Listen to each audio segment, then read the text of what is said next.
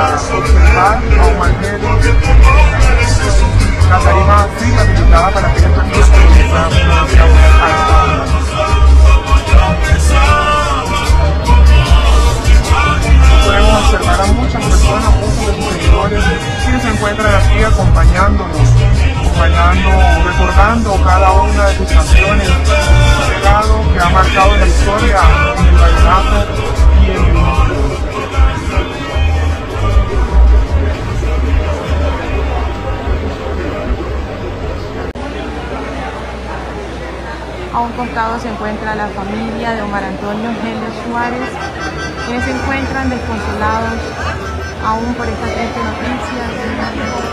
Que siga siendo Dios el que les brinde consuelo en medio de este momento.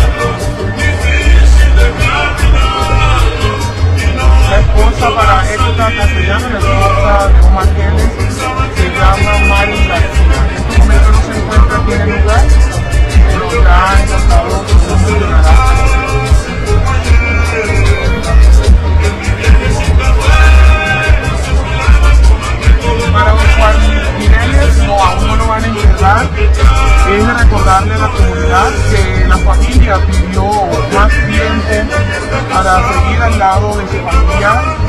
Eh, la, program- la programación estaba para, para las 9 de la mañana de este, de este jueves, pero la, la- autoridades, la petición de la familia, se estarán realizando los homenajes horas de la tarde a partir de las 12 de la tarde, a las 12 de la tarde. Luego a las 4 será Septiembre, Martínez,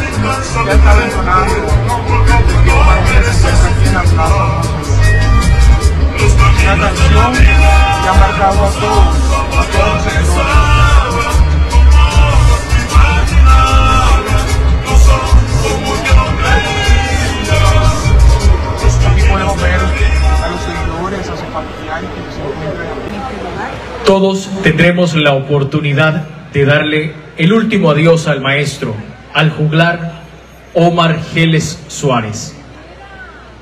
El féretro permanecerá en cámara ardiente hasta las 12 del mediodía. En orden, estamos ingresando por la parte izquierda de la tarima para darle el último adiós al maestro Omar Geles. Será un paso muy breve, están prohibidos los celulares. Saldremos por la parte posterior, por la parte derecha de la tarima, para darle la oportunidad a todos los seguidores, los fanáticos del maestro Omar a que puedan acompañarlo, a darle la última despedida. Sobre las 2.30 de la tarde iniciaremos los actos protocolarios aquí mismo, en la Plaza Alfonso López, la misma plaza que lo vio coronarse como rey vallenato. Posteriormente, su cuerpo será trasladado hacia su última morada en el Parque Cementerio Jardines del Ex Homo.